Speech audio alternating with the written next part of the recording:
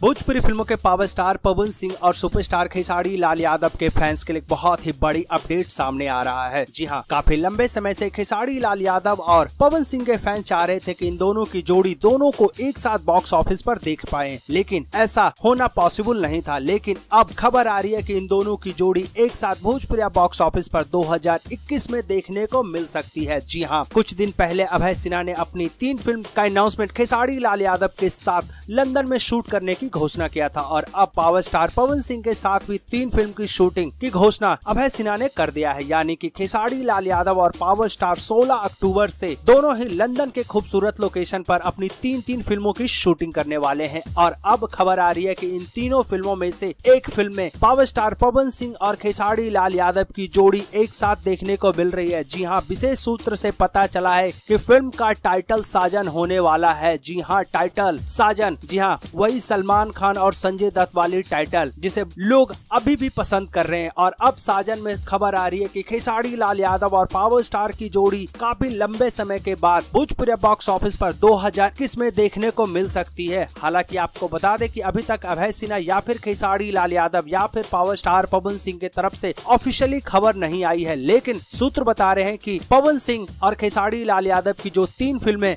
London में shoot होने वाली है, उनमें से एक फ़िल्म में पावर स्टार पवन सिंह और खेसारी लाल यादव की जोड़ी एक साथ भोजपुरिया बॉक्स ऑफ़िस पर 2021 में प्रदर्शन होगी और भोजपुरिया बॉक्स ऑफ़िस पर इतिहास रचेगी और उस फ़िल्म का नाम है साजन। अब देखना है कि अभय सिन्हा या फिर पावर स्टार पवन सिंह या फिर खेसारी लाल यादव इस फ़िल्म के बारे में कब उजागर करते हैं। जैसे ही इस पर कोई भी अपडेट आएगा, हम आपको ज़रूर बताएँगे।